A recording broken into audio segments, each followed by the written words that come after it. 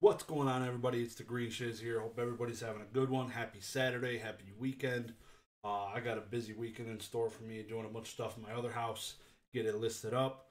Um, coming off my discussion with Ketchum All Collectibles, I completely did not plug his Patreon. Um, he's in a Patreon with uh, Pokenomics. I've not joined it personally, am probably joining it here very soon, but I wanted to let you know it definitely seems to be a very high value. I've talked to a few people that are in it, and they are extraordinarily happy. So look to see me probably joining up in there. Um, hope to see you guys in there. He is uh, Dan's a great guy. I've yet to talk to Jake. Haven't reached out to him yet, um, but I really would like to. He's one of the first PokeTubers, you or po- YouTubers, whatever you want to call him. He's a YouTuber um, that I started following when uh, I got back into Pokemon actually. So um, really would love to do that and actually sit down with him, a couple other ones. Um, but I like doing it. It's not.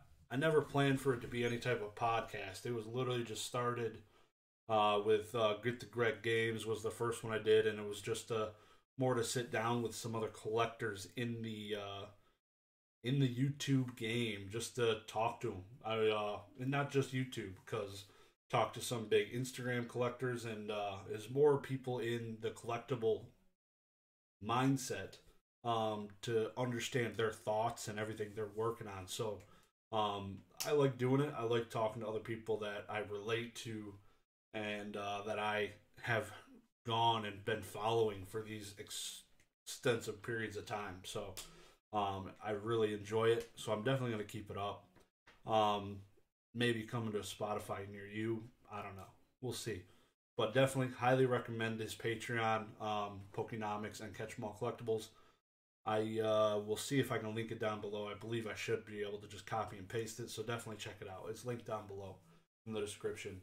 Um, this video, I'm just going to be going over some of my stuff that I plan on doing on my weekly lives for PWCC. So this again is kind of going to be a market analysis stuff. Um, I'm going weekly. I, let me just correct that. So these I'm going to have shown weekly, and I'm going to get into it in one second. So I have some data that I'm going to be keeping up with every week. During the live, I won't be updating it. During the live, I'll just be going over and analyzing what's going on, cards I'm watching, um, and some other cool highlights, stuff that's going on in the market. Um, but I did put together some spreadsheet that I'm going to show right now. And this is it. So this right here is my spreadsheet that I just put together. So I just kind of wanted to analyze different categories in PWCC's weekly auction.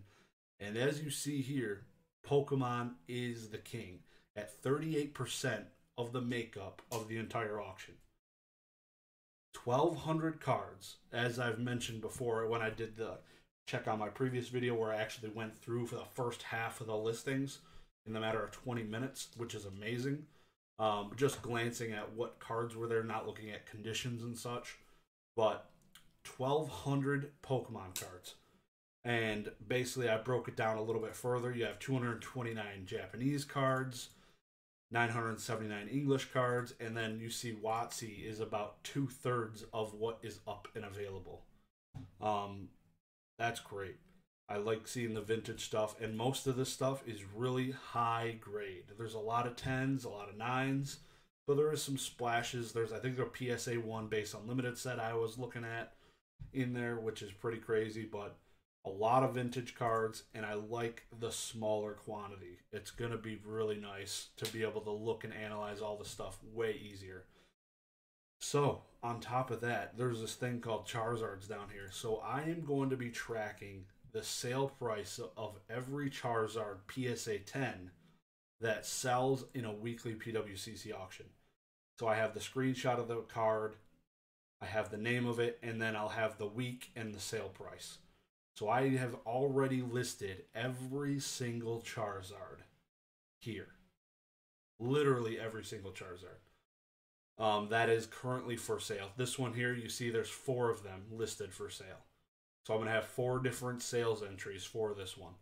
Um, so this would be just really cool thing to track. There's not that many vintage ones at all here um, in a 10.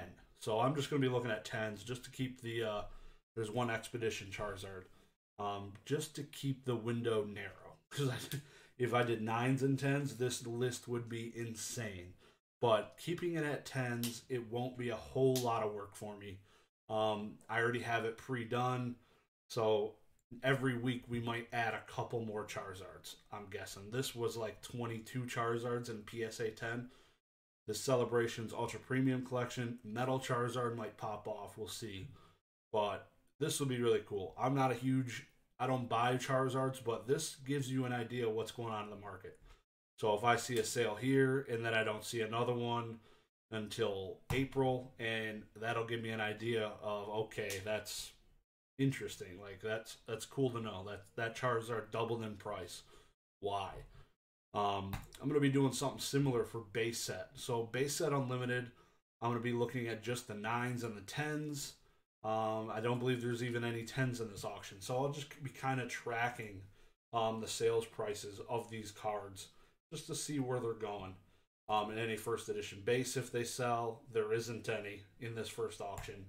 Um, so I think that'll def this will definitely be getting more as this goes on. The first week I understand a little bit, um, but also the biggest thing is like I want to see how these numbers change. So every week I'll have this breakdown, and then I'll be able to compare it week to week. I want to see how Pokemon is doing versus the other cards. Because right now, that's crazy. 1200 Yu-Gi-Oh! Come on, you need to step it up. Magic, it will step it up. Um, but that's crazy. 1200 Pokemon is awesome. But the Charizards, again, that's huge. This will be awesome just to check out and see. Um, I'm really, really interested in seeing this and how this transpires. But in addition to this, um, I did just get a message from eBay today saying, Congratulations, you've sold over $600. You just need to reconfirm your 1099, and then we're going to make sure you get the, uh, or reconfirm yourself so we can give you the 1099K. Um, so it's happening. Uh, be prepared. Contact a local CPA. Most of them um, will have like a free discussion. You can like you can get on a Zoom call with them, usually do an assessment and go from there. And that that assessment's usually free. They want your business, so just talk to them and uh, maybe talk to three of them for free, just to get an idea if you're doing everything right and make sure you're tracking everything you should be, because you should definitely um, be doing okay. Like you should be expensing things, travel, if you're doing it right. If you're everything should be included in your sale. So if you sold a $600 card, you should include your the expense to that, your cost of goods sold, your your shipping fees, your packaging, your mileage. Like you just need to talk to a CPA and get that locked in because it's coming. Um so if you weren't doing it before, you don't just sit you don't just throw that away. Like when they uh, when they come to you asking you to appear in court to be a uh, what is it called? A jury member a lot of people just throw those away which is also probably illegal. Um, but you don't want to be throwing away a 1099k once it pops up into your uh, your mail. So irs will get their money whether it's uh, taking it out of your actual w2 that you get your tax return or however but highly recommend you guys do some research um, it'll just save you money in the long run. So um, it's really sad to see Magic at 0.6% of their overall cards.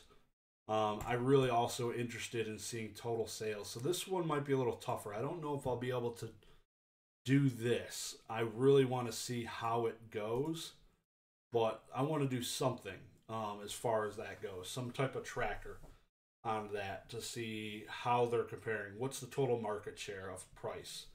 Um, and the last thing I'm going to mention is I did create a Discord.